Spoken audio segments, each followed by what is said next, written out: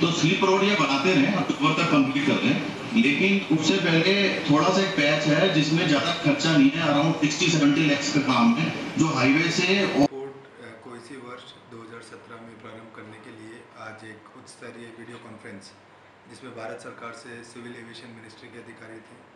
जयपुर से राजस्थान सरकार के मुख्य सचिव डीजीपी साहब और विभिन्न विभागों के सेक्रेटरीज और उच्च अधिकारी थे और यहाँ पे अजमेर से अजमेर के जिला स्तर के अधिकारी थे। तो उस वीडियो कॉन्फ्रेंस में सारे इश्यूज़ डिस्कस हुए। बाय एंड लार्ज लैंड का इंफ्रास्ट्रक्चर का काम लगभग कंप्लीट होने को है। लैंड से रिलेटेड सभी प्रकार के डिस्प्यूट्स खत्म हो चुके हैं। भूमि का पूरा कब्जा एयरपोर्ट अथॉरिटी को संभला दिया गया है, उनका कार्य प्रगति पर है।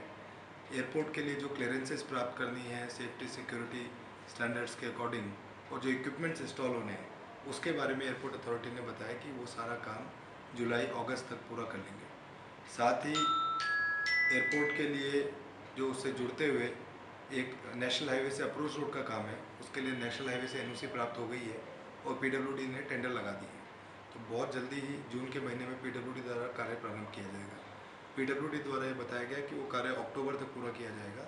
इसी प्रकार से पीएचडी का जो वाटर सप्लाई का कार्य है, वो भी लगभग अक्टूबर तक पूरा किया जाएगा।